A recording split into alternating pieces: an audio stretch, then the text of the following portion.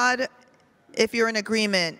I will see you next year. Not in agreement. Yes, yes, yes, yes. All right, all right. Awesome, awesome. Well, our next panel is going to give you another dynamic conversation. They'll be talking about the role of blockchain in shaping sports fan engagement. I'm going to welcome first to the stage Jennifer De Broglie. If you could please come to the stage. And Jennifer is with Qatar Media Corporation. Please give her a warm welcome. And, and we have Petrix Barbosa with Matchain.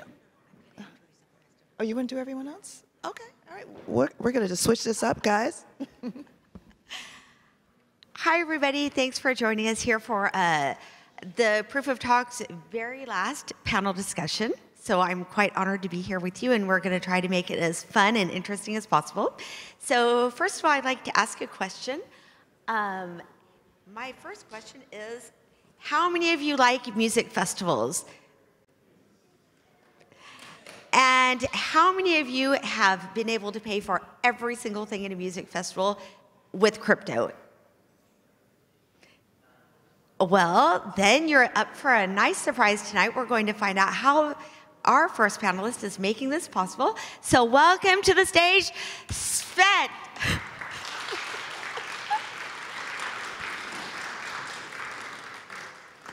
so, Svet is actually um, bringing crypto to music festivals, the top five music festivals in the whole world. So, he's got a lot of great insight to share with us. All righty, now question number two. How many of you have participated in, have been an Olympic athlete? Nobody? Well, there's one person in the room that has.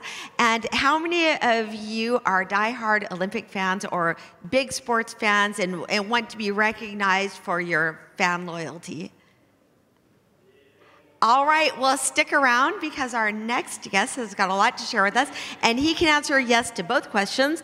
This is our good friend, uh, Petrix Barbosa, who is using AI and blockchain to level up the fan experience. And just a little bit more about Petrix because we're not going to talk about his company during the panel discussion, so I want to talk about it right now. Um, he is a Brazilian Olympic gymnast, serial investor, and now founder of Matchain, the decentralized AI chain for data and uh, identity sovereignty. Alrighty, question number, this is the third and last question for now. Um, question number three, question number three. Ah, okay. How many of you have ever bet on a sports team? And how many of you love to gamble or like it a little bit? well, our final panelist, Peter from Greece and America, is he has made a platform to bring gambling using crypto to the masses. Welcome, Peter.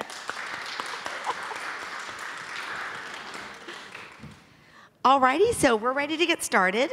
Um, we're going to talk today about the role of blockchain uh, shaping sports fan engagement, and we're going to take this into five different uh, categories. The first one being the industry. So, uh, Petrix, we'll start with you.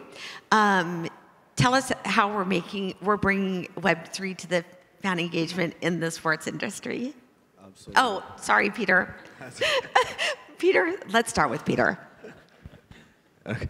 Thanks. Um, so I think Web3 and sports, sports is a huge industry, global presence um, across both mature, developed markets uh, and emerging regulating markets. And the fan base, the sports fan base, a huge cohort of them, as a surprising amount of you actually, um, I saw do engage in sports betting.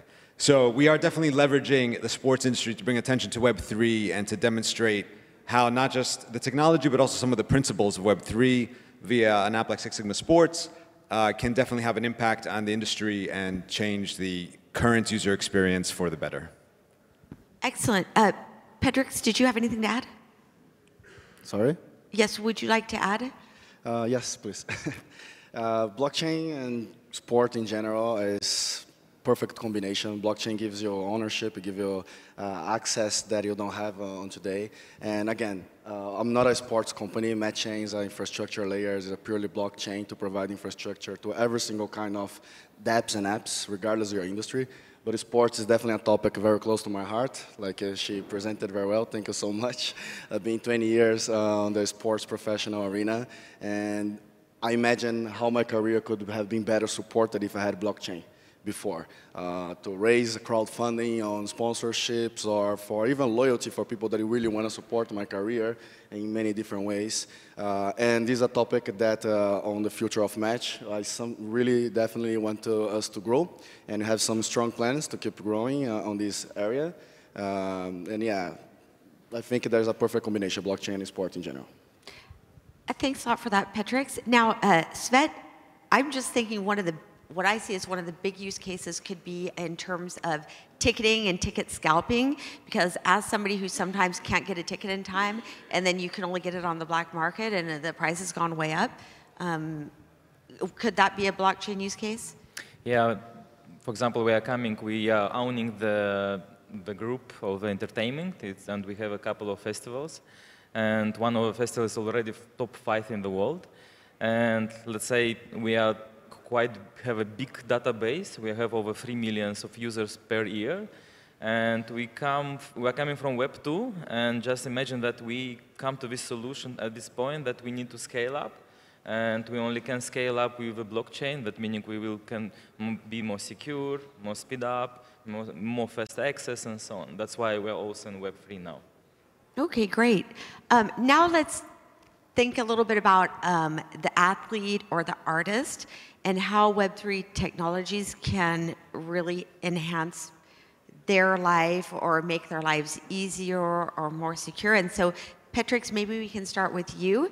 Um, back in the day when you were an Olympic athlete, I guess like decades ago, you didn't have access to this technology. Um, how would this have changed your life for the better had you had access to this? And um, coming back to today, how is Web3 getting the athlete or the artist closer to their fans or their sponsors? Yes, absolutely. Um, blockchain in general is very inclusive, right? It doesn't matter which industry you're coming from. I came from sports, coincidentally, um, but blockchain, that's the beauty. Uh, when I met blockchain and crypto, I was still very active and I was supposed to be training for Tokyo 2020. It was right after the Olympic Games 2016 and when I moved to the United States. When I moved to the United States, I was converting Brazilian reais to dollars, and I said, mm, this will not work for so long. What should I do? By that time, I already had my graduation in economics and finance and a lot of passion for adrenaline, risking in general. So I decided to research what I have in the market, if it's Forex, if it's trading, or whatever it is. And then I found the crypto, blockchain. I read the Bitcoin white paper, uh, and then made a lot of sense for me made a lot of sense, uh, literally, and even by the time, like my family works in very, very traditional finance. Uh, by the time my brother was working at Goldman Sachs, and then I called him and asked him, like, what did you think about it? Is crypto good? Is Bitcoin such a thing? He said, like, Google Ponzi scheme and call me back a Google Ponzi scheme. I never called him back. Six, seven years later, I'm here, invested in 250 protocols uh, as an angel investor, as a VC founder, and today a founder of Matchain. And like I said, my background was for sport, but blockchain is inclusive, right? We all have different backgrounds over here, and it's a, it's a new ecosystem and a new uh, place that we all can live and have a new career and have ownership about what we're good at. So I'm, I'm, passionate about, about water industry in general, yes. Can I just jump in with a uh, quick question on Please. ticketing? Uh, because I'm kind of curious, as I thought about what we were discussing earlier. Um, is transferability of tickets something that you are actually improving or changing with the benefit of being build, building an app on blockchain? Because I, I mean, recently I actually paid through the roof to bring my son to his first football match, and I ended up having someone season tickets. I was Emma Jones for an afternoon, and I, you know, I think I can envisage this being kind of ripe for making people more comfortable with transferring and developing a secondary marketplace for season tickets and, and other types of tickets as well. Yeah, for example, we have, uh, at one festival, we have uh, one guy that sold his ticket 110 times.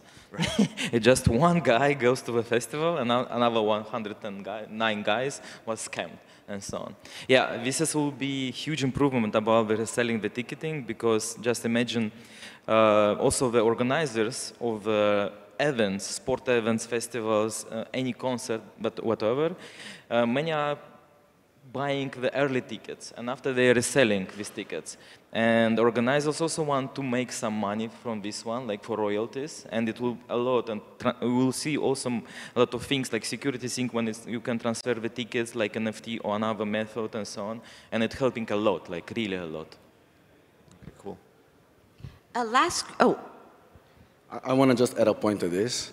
I don't think it's bad, and, and not that he's my personal opinion that basically he came to the other ones because he paid 100,000, 110 times more expensive.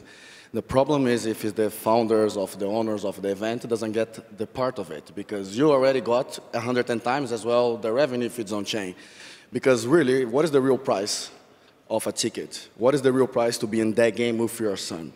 Like, can, how can we price things right? Price is, should, like even a token or a meme coin, it's how much it matters for you, how much is important for you. So if you have a fair marketplace that the founders, the artists, the athlete will be paid no matter what on a second, third, or fourth sale, this is what matters. But if I have the FOMO, and I have one ticket available that day, even if maybe I'll have another 10 by the end of the day, but I'm not certain, and I have a, a seller that I want to sell 10x more, that matters to me. I will buy 10x more right? So it's really about how do we price things. And blockchain gives the freedom to you price tickets at your own, own, pace, at your own ability or willingness to be part of, as long as the artist, the athlete, or the company get the fair rights and the royalties.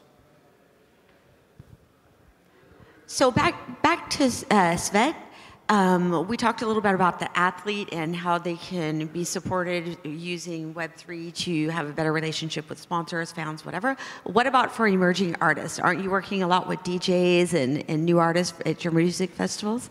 Yeah, well, so we are owning one of the uh, platform, like I say, it's first marketplace in the Romania, and it's named the Ecstasy, and we are exactly are selling experience. Let's say we have a couple of the same uh, story behind of a childhood and so on. And I also, let's say, sport athletes and so on. And after is going to the gig style, you know. yeah, uh, the idea is uh, we also have, a, like, uh, for example, experiences with artists, like a backstage or meet and greets and so on. And uh, like my colleague said, it's all time exists a FOMO that somebody want to buy it and they're sold out like in the minutes. And the cool things about the blockchain, that you also can transfer these, these tickets, or maybe you want to make a GIF, or you, if you want, you can sell it more higher price and so on and so on. Yeah, but it's a lot and a lot of FOMO exists about these tickets around the artist. Great, and now um, let's talk a little bit about um, how, how Peter, you are seeing, well, based on our previous discussions, how this could really be, uh, Web3 could really be the way to finally achieve mass adoption through the music industry, the, ga- the gambling industry, the sporting industry. These are, these are industries that are massively popular among normal people. How can we leverage this to bring Web3 on board to these populations?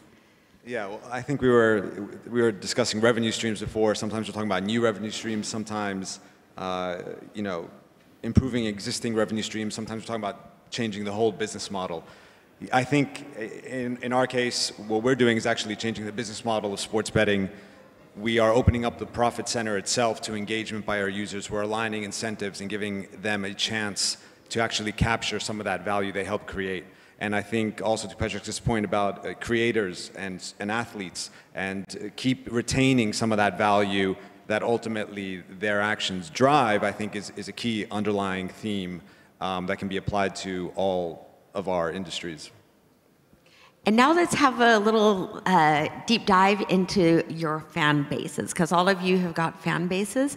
And what are you doing to grow the fan base using Web3? And what would be to the audience your uh, biggest tips if they want to grow their fan bases as well? What's like, what's like your best Web3 tool to grow the fan base? Well, I'll, I'll I would love to learn from Patrick since vet here. Um, I, I, can start. Nobody has the perfect formula or the recipe, but we all have to do our own tactics and keep trying, keep improving. Uh, what I love, especially about your business, your business, and the philosophy and the core from Matchain. Again, we are not a protocol itself, we are infrastructure, but we have a way that we approach the projects for our ecosystem, and we are all about experience everybody talks about mass adoption. Everybody talks about using the chain on board millions. But you're also talking about quantum computer, TPS, fast power, which the mass adoption don't know what they're doing or what they're going to be using. So we all should be focusing on the users, like Jeff, like to, Jeff Bezos like to say on Amazon, right? Focus customer services because it's real. So what the users want, they don't want to change the experience. They want to do the same thing that they do in their daily life blockchain or not behind, doesn't matter, mm. right? You check your application when you download on Apple Store, if it's Java, Python behind, no, I'm a Java Maxi, not touching this Python shit, right? You don't care. Blockchain is just technology, is a solution for a problem. If it's a solution for a problem, find experiences, find industries, find applications that need the solution, embed in the back, the end user shouldn't know, doesn't have to know because he want to have the same experience. But maybe now they have a wallet on that new application. And that wallet will start to generate rewards for him. So we start to get curiosity and you onboard masses and masses. Again, right now we already have 12 million registered users across the applications on our chain, 7.9 million monthly active users on our testnet because we create applications that they know how to do it right? I have like um, real influencers across APAC, uh, uh, over a thousand, that they coach, they prepare people how to use their application, how this business model can improve their lives. The same business model that our parents did the whole life, to sell whatever thing off-chain. So you, on the onboarding process as well, it's not on Twitter AMAs, guys. The Twitter AMA will be just my personal opinion, but it will be just the same audience, right? And even here, what we're we doing here? We are trying to collaborate with each other, learn more, see how we can grow and get inspired. But we are not onboarding the masses on this conference because if you're already here, you already have interest in Web3. Mm. So we, we need to get out of the bubble, build experiences that people are used to have, they don't have to be prepared, and then the curiosity will come. Uh, that's how we did it so far. and he have a real word case application, betting, everybody knows how to bet. There's a blockchain behind. Ticketing is amazing onboarding process as well. Mm-hmm. So I, I, I, love what the guys are doing. It's perfect aligned with the way that you think. Awesome. Uh, now back to uh, Svet.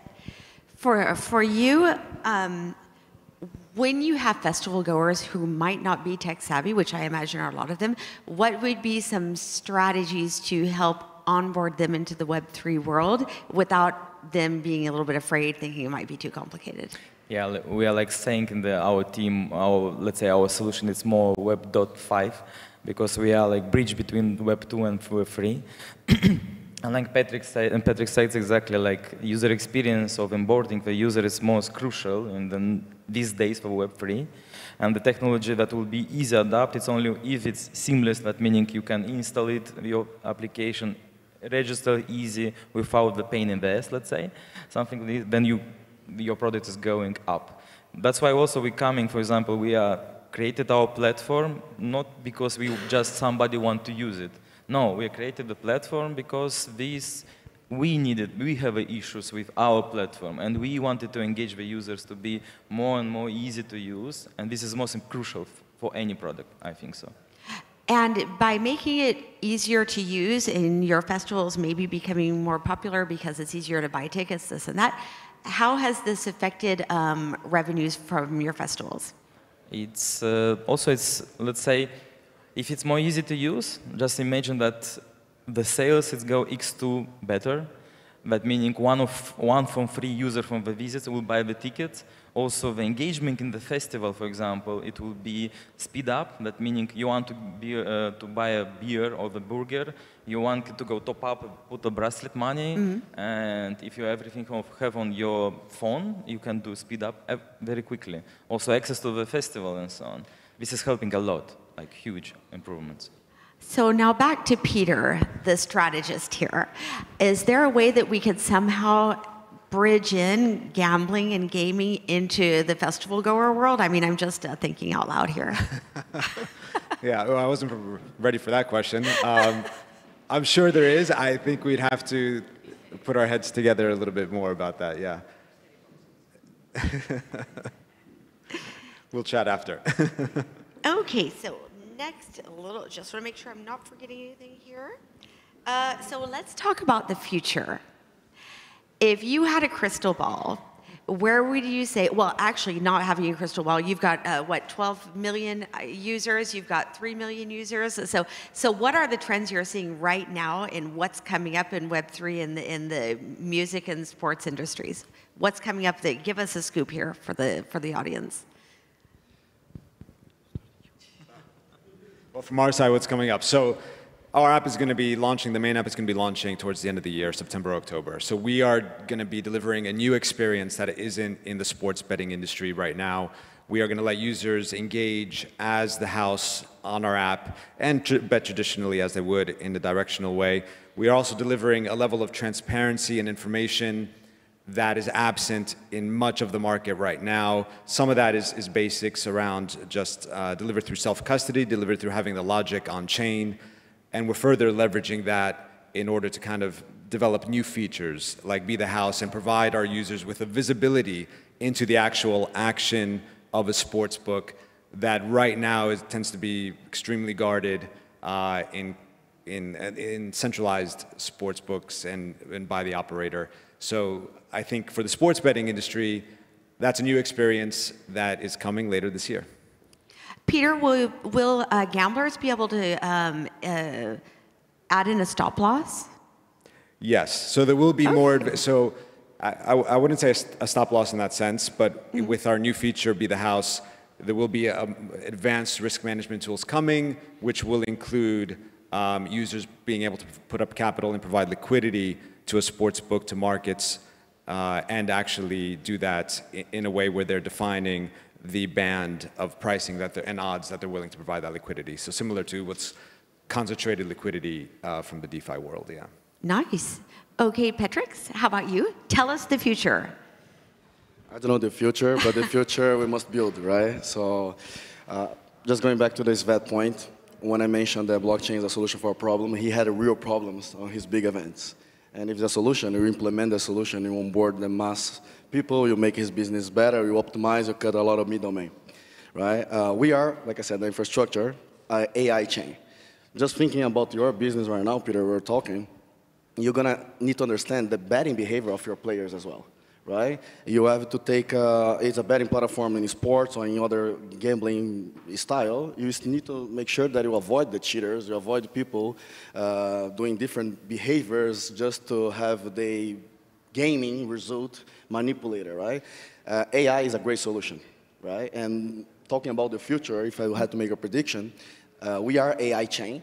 And we believe that every single app in the future or app in the future will have AI inside at mm. center point, as he should be implementing AI, as he should implement AI to understand better, like what people are drinking more, what are the behaviors, how can I improve my experiences. So my future prediction is that every single app and app in the world will have any AI feature, and AI needs data, data mm. to be trained in the users onboard users in a seamless way, that in a way that people doesn't feel that they are being onboarded, create the data, have the most powerful AI. So my users can become easily his users. And that's the beauty of blockchain. We are not fighting who have more users. This is not a football uh, Champions League competition, right? We really collaborate. And that's the goal, and that's why we are uh, onboarding mass adoption users from outside, not aiming to steal the user base from Solana or other chains. We want to mm -hmm. bring from the outside and provide to every single other ecosystem because have a lot of quality projects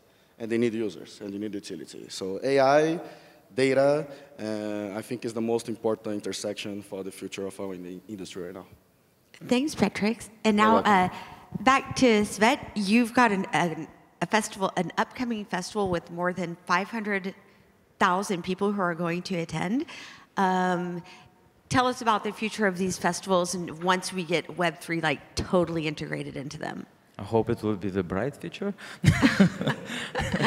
and so on. Yeah, Like, but what, I, what will the user experience be like? Like, just take us through a festival goer showing up at a festival. Yeah, it can be like exactly like Patrick said. Uh, it's most interesting that we already make uh, with AI, with data prediction, that it, what will we use, the beer, what they're drinking, and so on. yeah, we speak it before.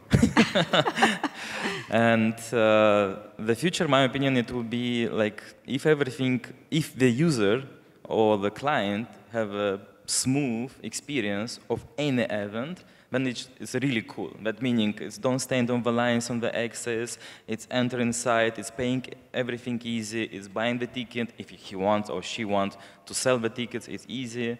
Like, eh, let's think, our experiences and everywhere, like jump with parachute, go to the event, it's most important one. We remember this stuff, we not remember the Netflix and so on. Yeah, this is my opinion, the experience is most important for us. Do you think that being able to predict all of these things, then it, there will be? I mean, I'm an ecologic, ecologist at heart, so will there be a positive ecological impact thanks to Web three on all of these different industries? Yes, it's possible everything to optimize and so on. Like all the process, if you're optimizing all the time, you have a better result. Excellent. All right, guys, would you like to ask one another any questions or any questions to me? Or Questions, from, the, audience? Peter, can you tell us how big is the sports betting market and how you intend to participate in that market and what makes you different from the audience? existing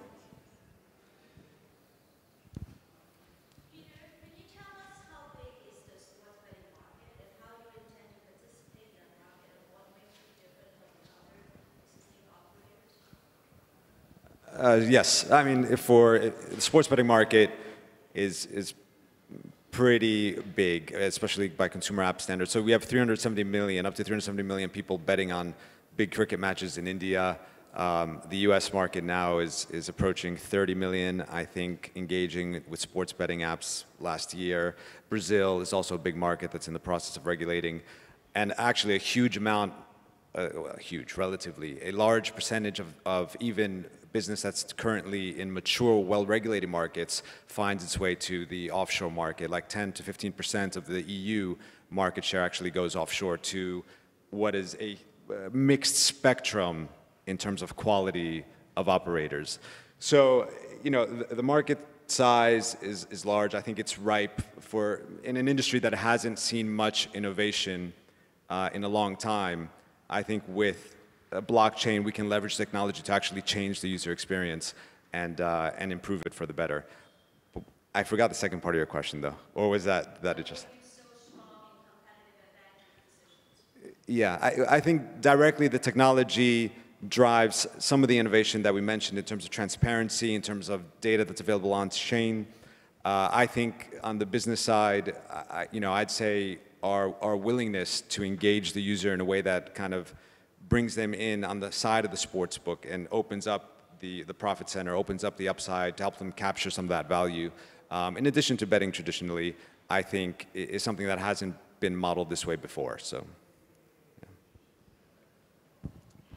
And a question to the audience with esports, traditional sports, music fans, music lovers, musicians, musicians, and people who like gaming, would you all agree that these together would be the ultimate perfect vehicle to bring Web3 to the masses?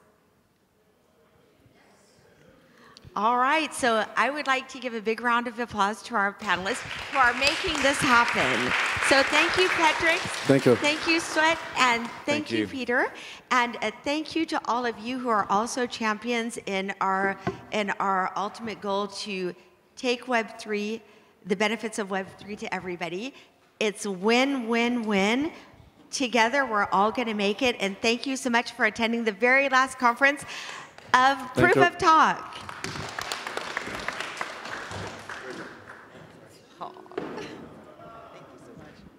Oh, I'm happy to shake your hand. Great job.